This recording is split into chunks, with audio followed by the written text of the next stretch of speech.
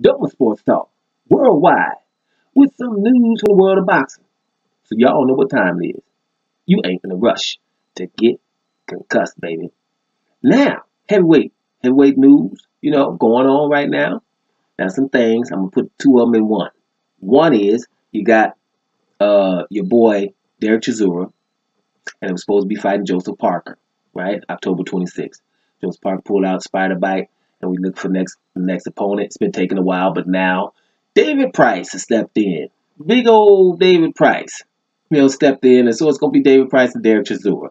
Well, it's a good British dust up, right? Now, they lucky they on pay-per-view. They on pay-per-view because the mother dudes, Josh Taylor and your boy uh, Regis Prograis, they're going to be fighting. It shouldn't be a pay-per-view fight with uh, David Price and Dereck Chisora right? But they're not by themselves, so they're gonna slip on and be on that skybox office thing going on. Okay, cool. Because that's a lot of losses in there. I don't know. I, I, didn't look at everybody's record, but I, I know that Chisora got nine of them, and and Price got about five or six of them. So, so you know, your double-digit losses between these guys should not be pay-per-view. But you're looking at England. David Price has a little resurgence. Plus, David Price has lost a lot of fights, but let's make sure he was beat by a few dope street boys. And Povetkin is a dope street boy. So is Teper. Right? So he's beat by those kind of guys. Those don't count to me. You know what I mean? Not really. They don't, don't count. Seriously. Oh, excuse me. First loss. Tony Thompson was doped in that first fight. When he lost the first fight. Right? I don't know if Tony Thompson was doped in the second one, but he was doped in the first fight. That's three dope street boys. Well, two of them. I don't know if Tony Thompson's dope, dope street boys. Teper and Povetkin are.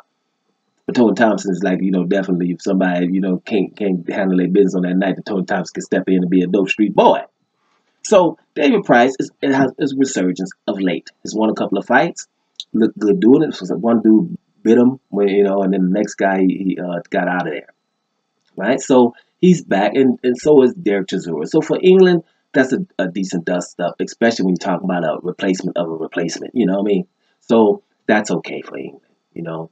That uh, that's one of the things. There's another news going on um, uh, that went on on in boxing right now. I can't really think of it. It's something else that was going on in boxing that I thought was kind of important when it was uh, when talking about doping. Oh, here it is. Alexander Usyk. Alexander Usyk supposed to be fighting. Uh, matter of fact, this weekend against Tyrone Spong or whatever his name, Spong. I told you the first time I was talking about it, he did not uh, I, it was under my radar. But it's supposed to be a good kickboxer. But it doesn't matter. Spong has tested positive for something. Right? came out. Eddie Hearn let it out. That cat out the bag. So uh, they're going to be looking for another opponent for Alexander Usyk. I don't know who it's going to be. Now, you guys do know Alexander Usyk is trying to move a heavyweight from cruiserweight. He was undisputed in cruiserweight. He he's, uh, should have a lot of respect because of that, because a lot of people don't do that.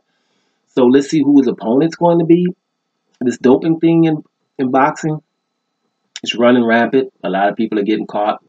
You know, we're just talking about Dillian Whyte. His B sample still not there three months after the fight. You know, Jarrell Miller doped. All of you know, it's just ridiculous. And uh, the, the thing about it though is, you know, looking at all these dopers, you start having to, you know, the fighters who are not doped, guys. Why don't you start liking them, right? Just start, you know, say, hey, man, dude's never been dope, had nothing to do with dope. I'm going to like him. Start doing that. Maybe that'll help because the fighters that are dope have the most fans. Let me run them down. Who, who got more fans than Canelo? Anybody? Right? Been dope twice, you know, two times clenbuterol. Right? A lot of them been dope. Even the ones, and some of them, you know, they were told on them, people told them, you know, therapeutic use exemptions. You know, we ain't gonna put no names on them, but a lot of people that can even get those. So man, it's you know, and Paulie Malignaggi told you basically it's almost stupid to not. So those who are not doping, let's maybe want to get behind those a little bit, right? Anyway, so let's see who Usyk's gonna fight. Right now, they're gonna have to hurry up and get an opponent, right? That's gonna be hard to figure that out, right? So uh, that's one. And let's back to the top. You got Dereck Chisora versus uh, David Price, a decent fight especially for England. So that's the two news in the heavyweights. It's kind of you know we're gonna have to figure out what's gonna happen in the in the uh, next day or two. We'll find out what happened on that on the, who they going Usyk's gonna fight. Some weird stuff going on, but at the end of the day, bottom line is if you're doping, you're probably gonna get caught eventually.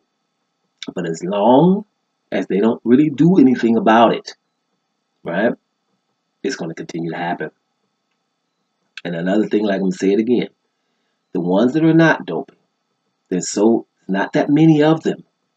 So maybe you want to give them a little bit more love. Feel me?